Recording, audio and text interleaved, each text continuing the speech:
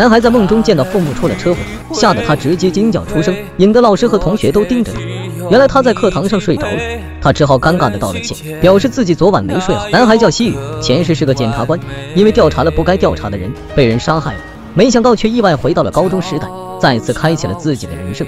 他记起前世自己的父母因车祸双双去世，只留下自己孤零零的。这一世他一定要阻止这一切的发生。首先在饭桌上，他提出让父母休息一天，想以这样的方式避开出事的这天，但是父母却以家庭条件不允许为由，拒绝了西雨的提议。见无法说服父母，他只好另做打算。他依照当年的调查结果，提前来到事故现场勘查，终于找到了应对的策略。只要父母走在路障内侧，就可以保证安全了。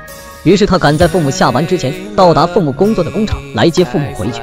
回去的路上，他将父母保护在道路内侧。就在经过前世的出事地点时，一辆汽车飞快驶来，细快步跑到父母前面，将二老护在身后。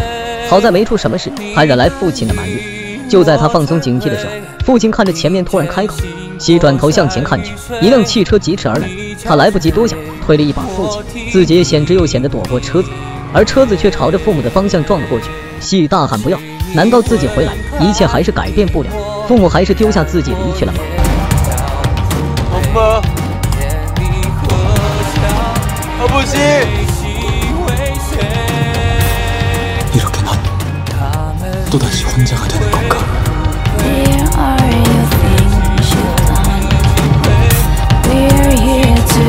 正当他难过之时，听到有人叫他，他欣喜若狂，正是父母的声音。